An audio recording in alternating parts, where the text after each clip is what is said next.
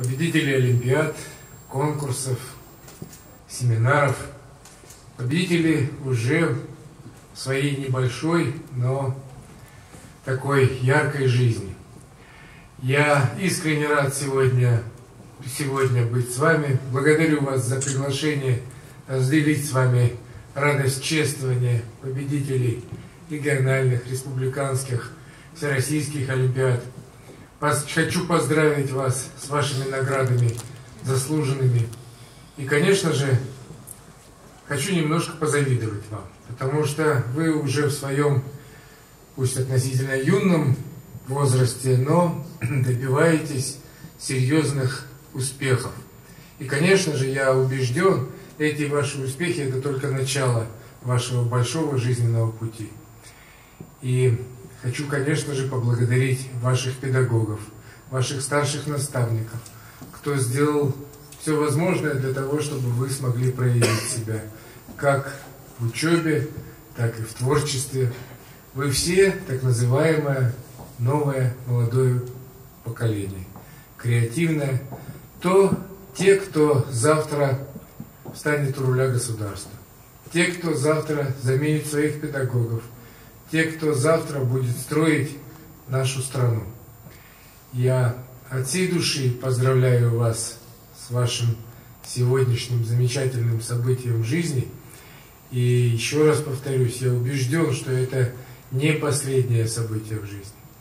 Хочу со своей стороны сказать, что мы многое делаем для того, чтобы ваши таланты, ваши успехи не остались бы только вашими талантами и успехами.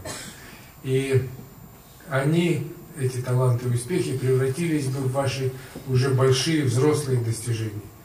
Для этого делается уже на сегодняшний день многое, но предстоит сделать еще больше. Буквально вчера я в Москве беседовал с ректором э, Московского государственного университета Садовничем Леонидом Антоновичем. И мы говорили о тех талантливых ребятах, которые учатся в Московском государственном университете, и о тех победителях, которые участвовали во многих олимпиадах. Ну, в частности, мы вспоминали вчера физико-математическую сторону э, учебы. Тех э, ребятах, которые побеждали во всероссийских олимпиадах, которые участвуют э, в заочном, так называемом, дистанционном образовании и конкурсе, и среди них очень-очень много выходцев из нашей республики. И вот мы в самое ближайшее время, буквально, ну, наверное, в течение месяца, заключим соглашение с Московским государственным университетом и будем отправлять своих республиканских стипендиатов, талантливых стипендиатов, э, полностью за счет республиканского бюджета.